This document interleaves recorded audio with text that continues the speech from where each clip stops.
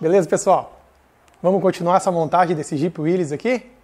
Agora vai, hein, gente? Agora vai. Eu vou atualizar vocês agora aqui para vocês verem que o chassi está aqui, ó. E vocês estão vendo que o chassi está tão brilhoso? Pois é, gente. Aconteceu um probleminha aqui com o nosso chassi que ficou um mês e meio, dois meses no sol, né? Acho que foi isso, né? É, um mês e meio, dois meses no sol. E como vocês vão olhar a imagem agora, ele ficou fosco, fosco mesmo. E a tinta ficou, parecia uma lixa. Ela ficou muito áspera. O sol acabou com a tinta. Era um esmalte automotivo e ficou desse jeito que vocês viram na foto aí. Aí a gente foi obrigado a pintar de novo. Teve partes que desgastou essa tinta, que ficou no sol, que chegou a aparecer os arcão embaixo. A gente correu uma esponja abrasiva nele todo e passou PU, brilhante. Como eu queria uma tinta semi-brilho e coloquei uma semi-brilho ela ficou fosca, a gente está botando uma brilhosa para ficar semi-brilho. Acredito que vai ficar bem bom, né? e agora ele está todo pintadinho, brilhoso. A gente vai deixar aí um time-lapse para vocês verem que eu tive que pintar tudo de novo. Vamos provar para vocês. Vocês vão acompanhar aí agora.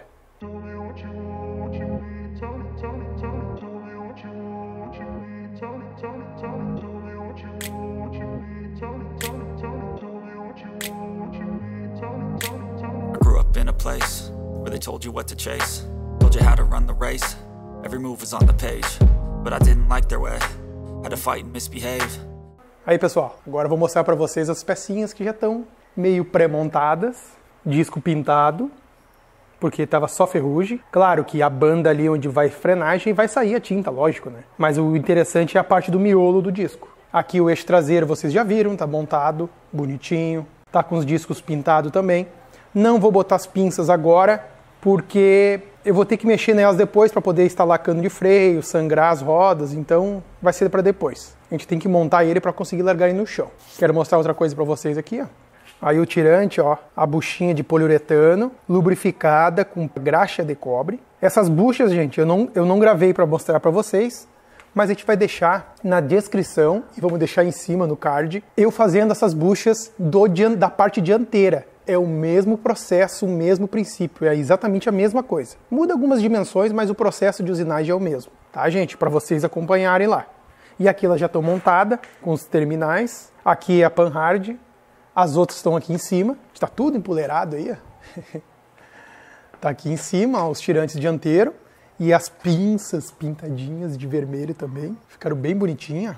As dianteiras e as traseiras, ó. Como ficou legal. Eixo dianteiro vocês já viram. E agora o que eu tenho que fazer é parar de conversar e começar a montar, né, gente? A gente vai instalar os pneus aqui para ir rodando com o eixo, largar lá embaixo e começar a posicionar e fixar ele. Então, pessoal, eu vou começar a montar aqui agora. Vamos botar no time-lapse, porque essas coisinhas assim a gente não tem muito o que mostrar, né? Mas assim que tiver alguma coisa aqui que acontecer, eu vou passar para vocês. Então fica ligado aí, que já já a gente volta a conversar. Acompanhei? Aí, detalhe, se vocês não se inscreveram ainda, se inscreve no canal para ajudar o canal ativa o sininho para não perder os vídeos novos, que tem muito vídeo desse Jeep aí.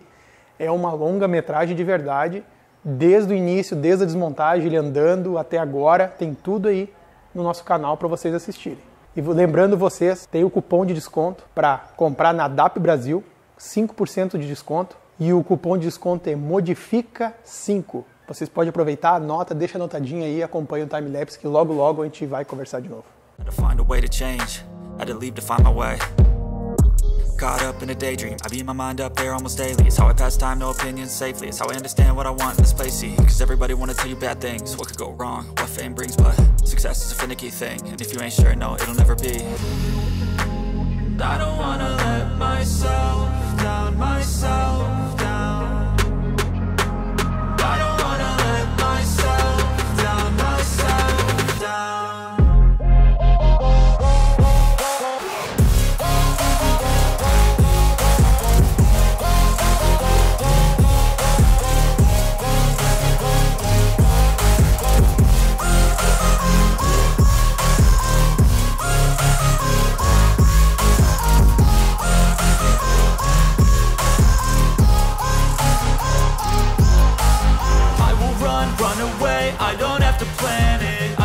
slow, change my fate. You won't understand it, all alone, that's okay. People, I can't stand them, they don't want me to change. Keep me where I'm standing.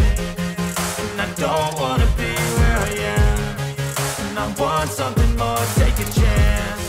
It could be possibly my last dance, my last dance.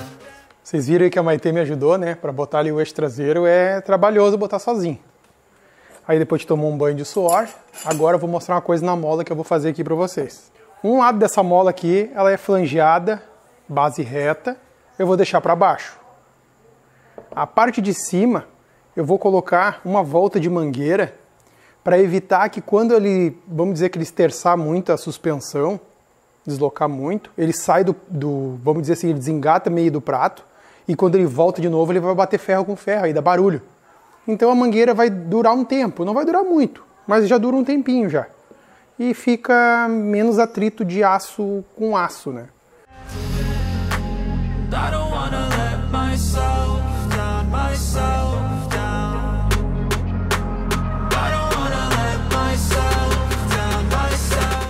Olha aí como ficou o Jeep.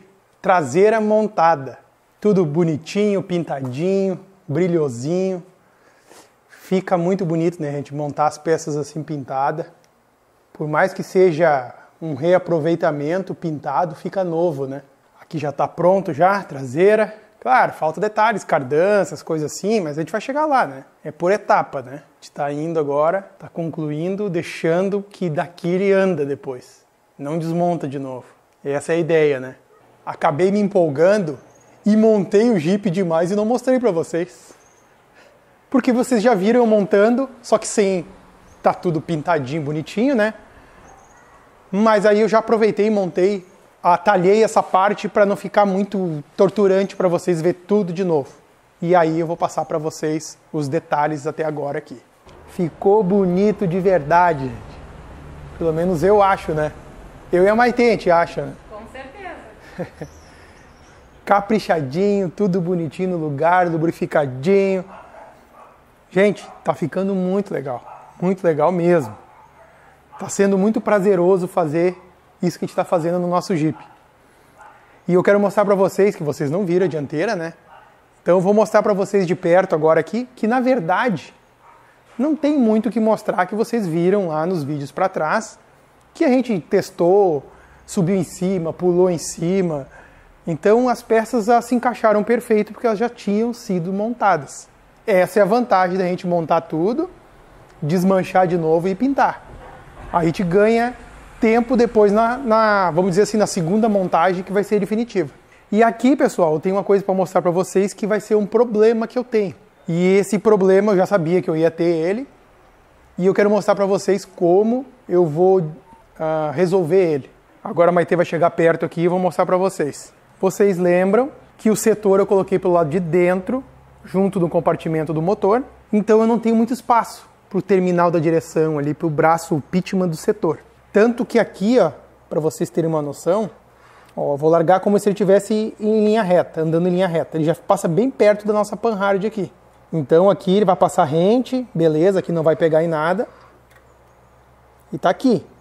Então eu não tenho espaço para me aumentar esse braço aqui. Eu poderia aumentar esse braço. Por que, que eu poderia aumentar esse braço e por que, que eu precisaria aumentar esse braço? Os high steer da DAP Brasil, que vocês viram eu colocando, ele vem com um curso maior.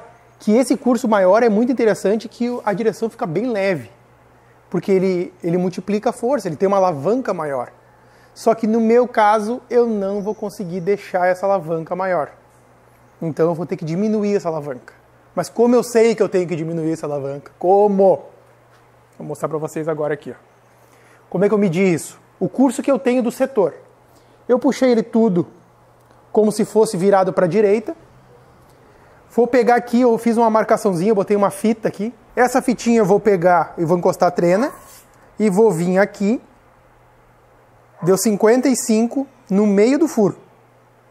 Agora eu vou fazer a mesma coisa. Puxar todo para o outro lado. Puxar a trena. E ver quanto é que deu. 70 e meio. Então, a gente tem 15,5 de deslocamento do setor. Vamos tirar o meio e vamos deixar 15, vamos deixar uma margezinha a mais para o setor trabalhar. E quanto eu tenho aqui no, no High Steer da DAP Brasil? ele aumenta o curso, ele aumenta a alavanca, então ele vai ser mais provavelmente, né? Eu vou levantar aqui para mostrar para vocês como eu fiz essa medida, né?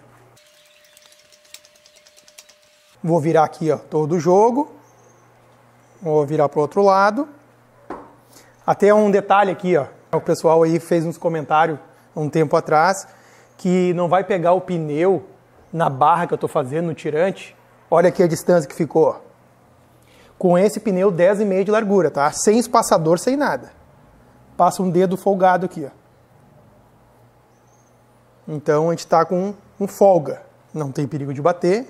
Claro, se o pneu tiver só barro e virar todo o jogo, vai arranhar ali, lógico, mas é para arranhar mesmo. Agora eu vou mostrar para vocês como eu medi aqui esse curso todo aqui. Eu vou pegar um parafuso de referência do, do, da carcaça do diferencial ali, ó. Vou pegar aquele parafusinho ali e vou medir no centro do furo aqui. 45 centímetros deu.